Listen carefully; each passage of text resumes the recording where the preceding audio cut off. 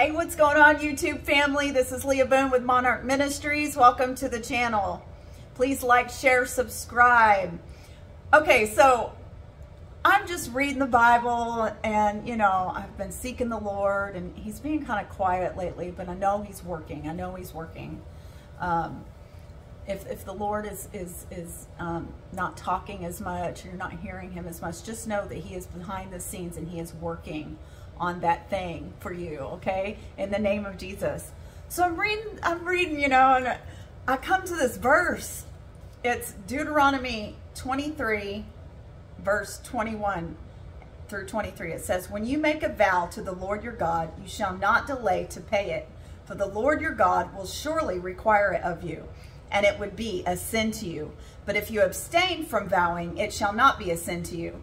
That which has gone from your lips you shall keep and perform. For your voluntary for you voluntarily vowed to the Lord your God what you have promised with your mouth.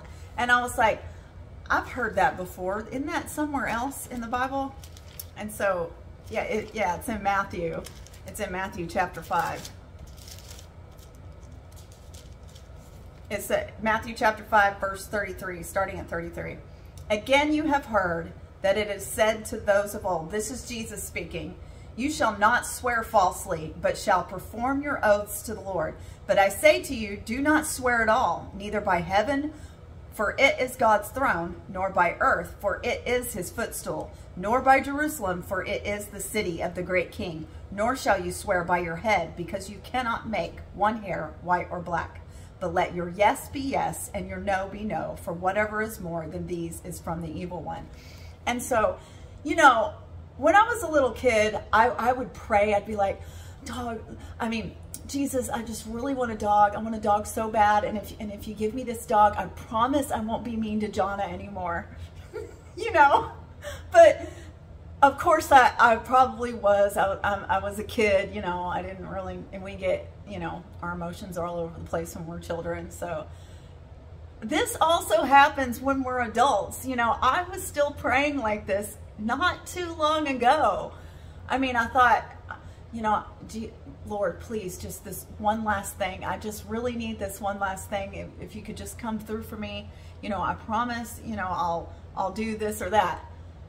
But the reason, you know, I stopped doing that because this verse, but also I came to understand that there's a good chance that I probably won't follow through with what I've said. So, um, I know all, all of you have, have had this experience before, and um, I just wanted to bring it to your attention again, to not be bargaining with the Lord, you know, um, because if you do promise something to the Lord, you have to follow through with it, or you have sinned, and then you have to reap the consequences. And there are consequences for sin. You don't just get away with things. So um, just to, just to, you know, clear the water, ask the Lord for what you want and, and just leave it at that. And, and, and that's it. In the name of Jesus. I love you all so much with the love of Christ. Have a blessed day. Bye.